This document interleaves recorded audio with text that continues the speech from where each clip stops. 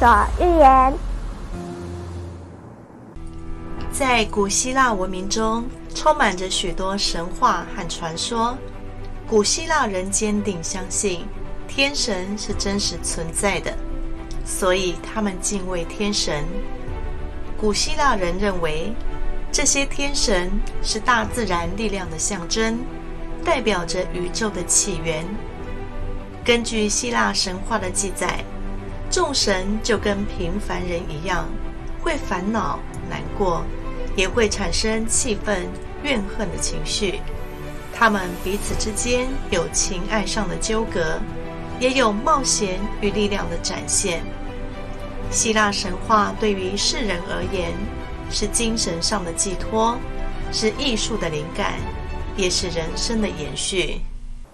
故事即人生，寓言无道理。欢迎收看《畅所欲言》。黑蒂斯是克罗诺斯和瑞亚的儿子，在希腊神话里，他是统治冥界的神，主管阴间地府的事情，住在永无天日的冥府里。希腊神话对死亡的观念不存善恶因果，人们认为。冥界是人们死去唯一去的地方，所以黑蒂斯的形象虽然让人觉得他冷冷的、酷酷的，不过并没有恶神坏蛋的形象，而是典型的英挺男子。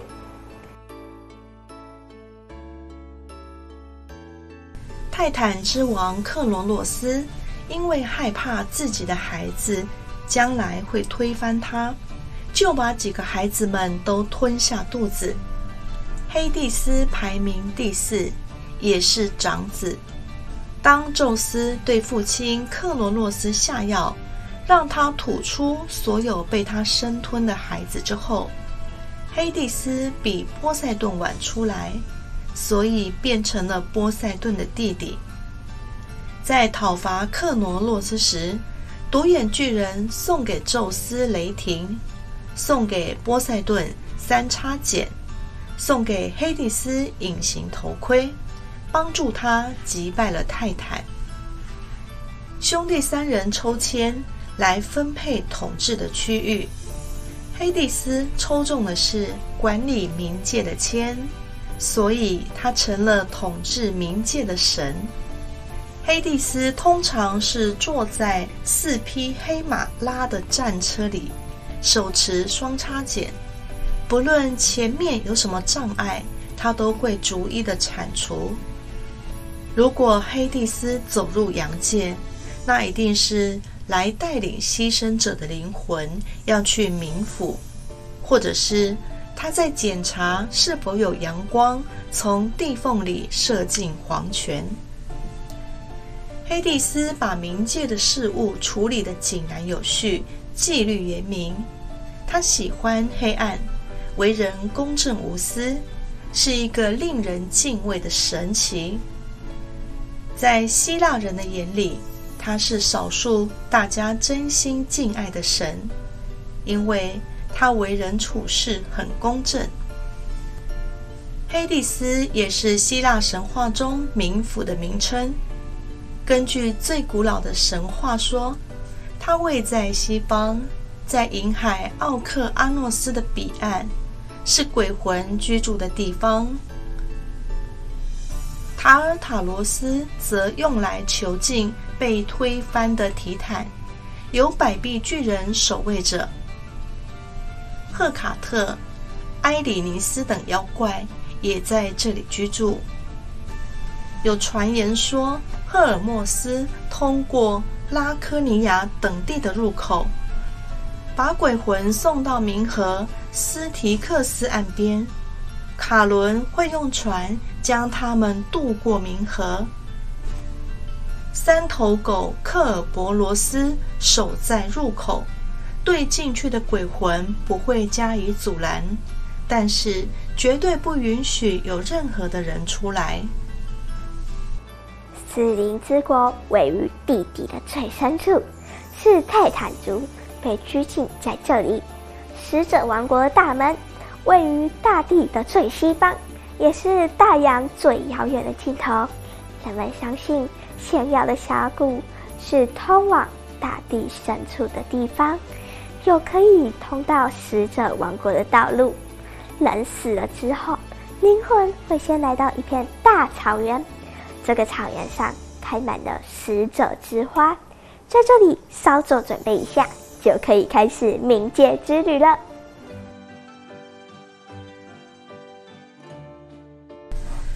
人们死后，引导之神赫尔墨斯将灵魂带到冥府。地狱和阳间有一道门连着，这是地狱门。这座门设在泰纳斯海角附近，由一只三头地狱犬看守着。任何人一旦进入地狱门，就绝对不能够重返阳间。从地狱门到地狱底层，有一条很长很长的路，路上经常会有虚幻的幽灵来往。地狱中还有许多的河流，其中有一条河叫做科库特斯河，是由地狱中服苦役的坏人他们的眼泪形成的。因为河中经常会发出恐怖的哀嚎声音。所以又叫做痛苦之河。另外一条河叫做阿格隆河，去接受审判的人必须要经过这里。这一条河的水是黑色的，水流湍急，阻挡了前进的道路，谁也无法游过去。一个满面胡须的船夫，他叫卡伦，他就在这里摆渡。只有乘坐他的船，亡灵才能过得了河。不过，想要搭船就必须要付钱，亡灵要交过河费才可以上船。通常，卡伦会收取一块钱的船费。如果等待审判的人没有钱，就要等上一年的时间。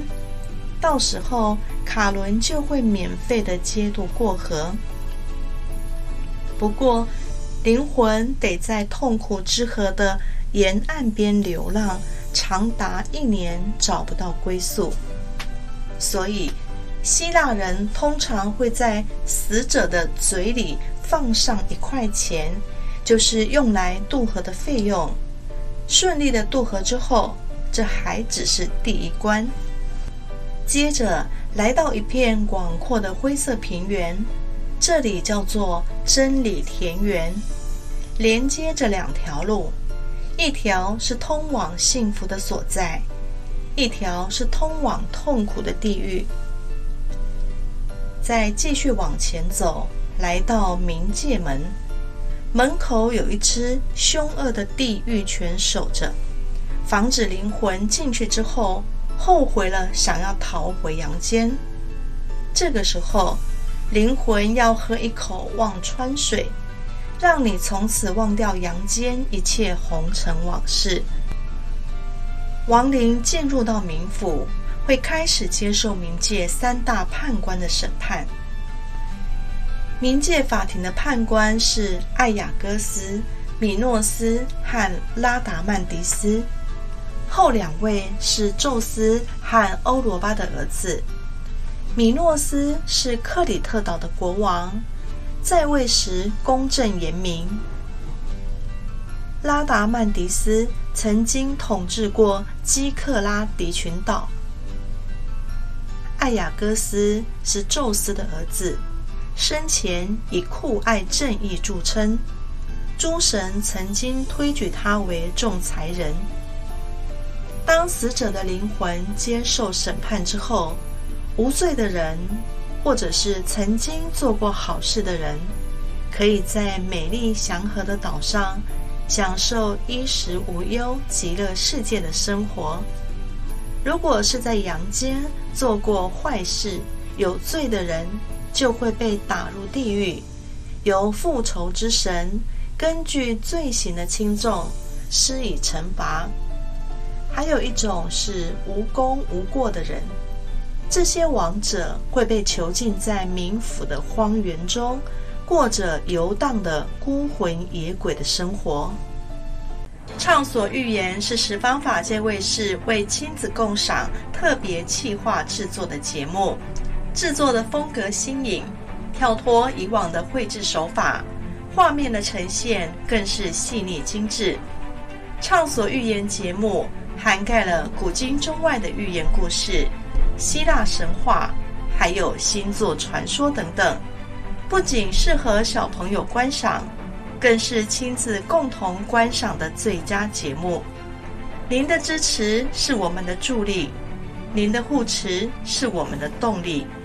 请护持《畅所欲言》节目制作，划拨账号四二二七四七八四，户名十方法界基金会。在冥界，罪人会和关闭在这里的泰坦神珠。一起接受永恒的处罚，譬如说泰坦罗斯王，他要受的惩罚就是永远饥饿的处罚。本来泰坦罗斯王在生前能受到神的待遇，能与神共同进餐，但是他却泄露了神旨期的秘密，而且他还偷拿神桌上的食物，他一天比一天的让傲慢。甚至不惜杀害自己的孩子，来测试神的能力。最后，必须在地牢里为自己残暴付出代价。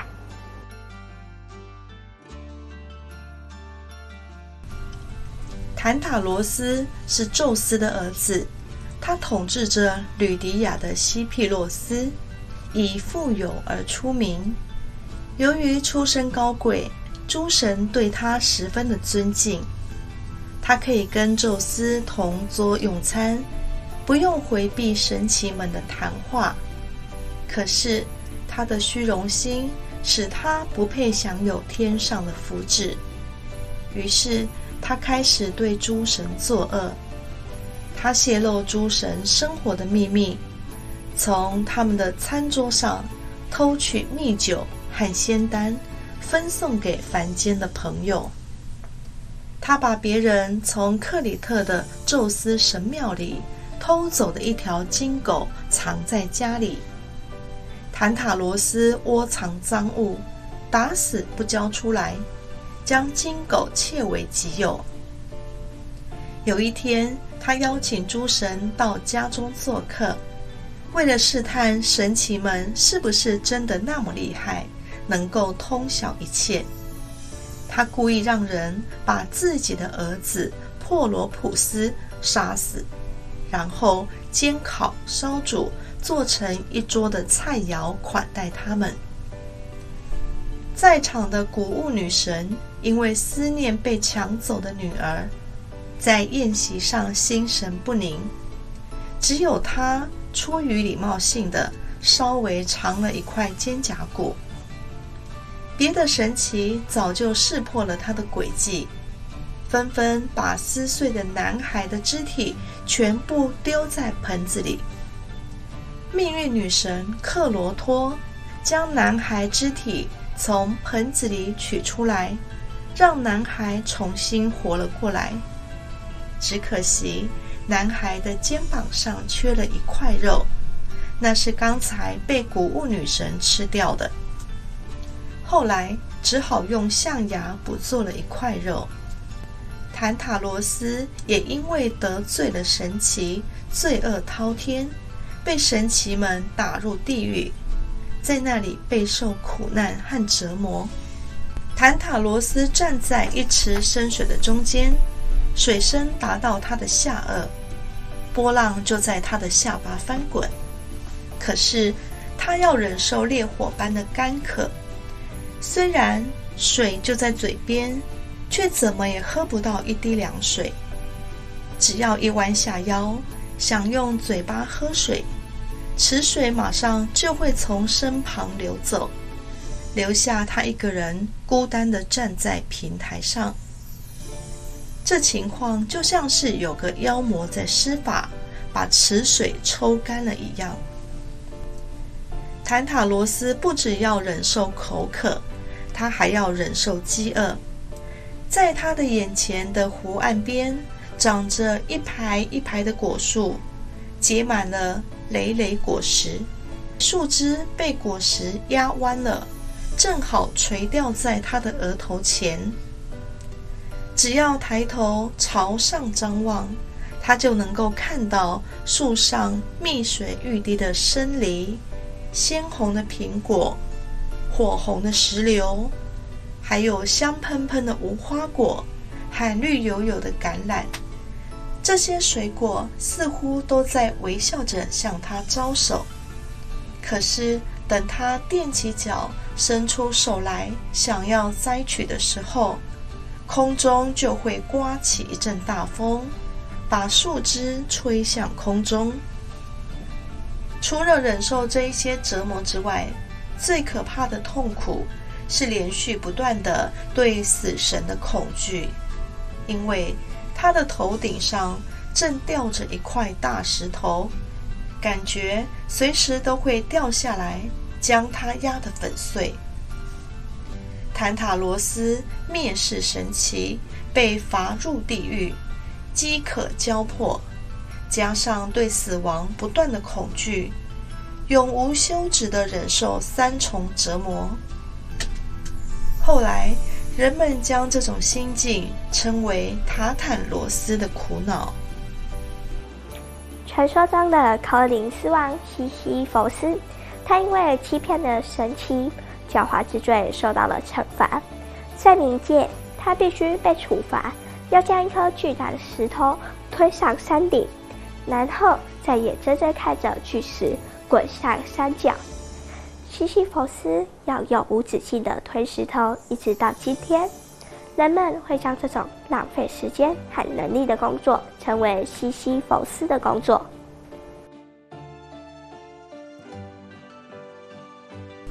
西西弗斯是人间最足智多谋的人，他是柯林斯的建成者和国王。当年。宙斯掳走河神伊索普斯的女儿伊琴娜，河神曾经到科林斯找寻女儿的下落。西西弗斯知道这件事情之后，就以一条四季长流的河川来作为交换的条件。由于他泄露了宙斯的秘密，宙斯就派出死神，要将西西弗斯押到地狱。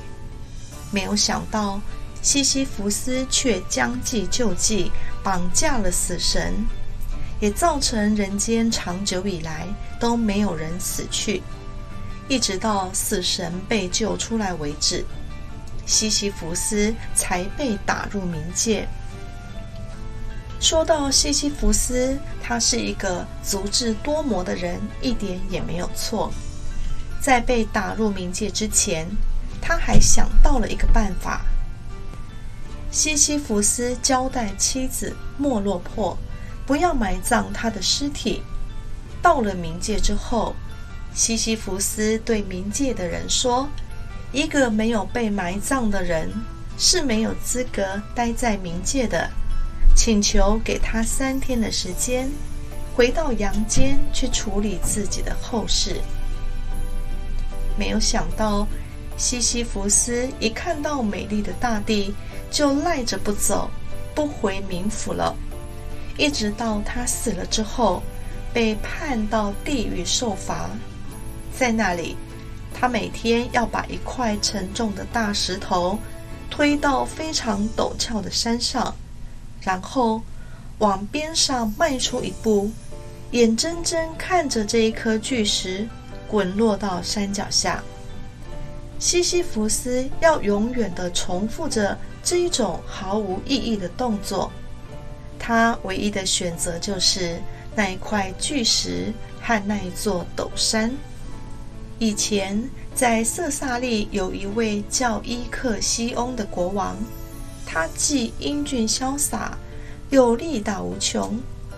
国王对美丽的戴姑娘一见钟情，向她求婚，但是。